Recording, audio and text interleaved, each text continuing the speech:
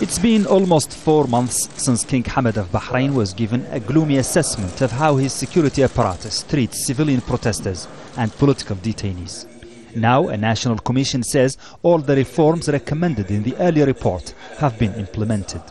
The king commented on some of the progress made.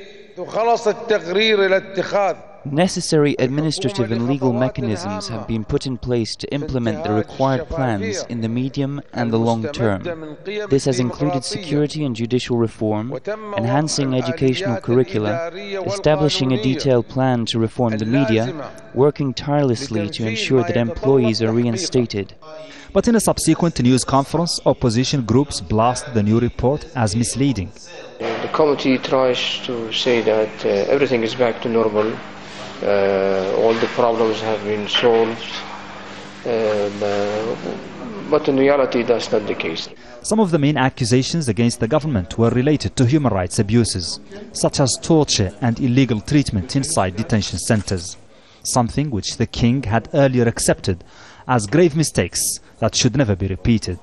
We are here inside the Interior Ministry and we are being taken on a tour by police officers who are explaining to us that those interrogation practices and illegal behavior against detainees have now become a thing of the past.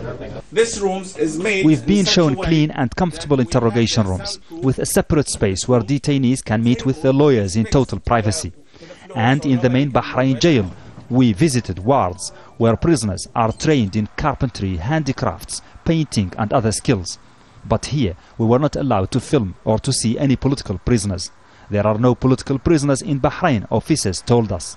But the opposition says there are over 700 political prisoners and until the government recognizes them as such and releases them, the crisis will continue.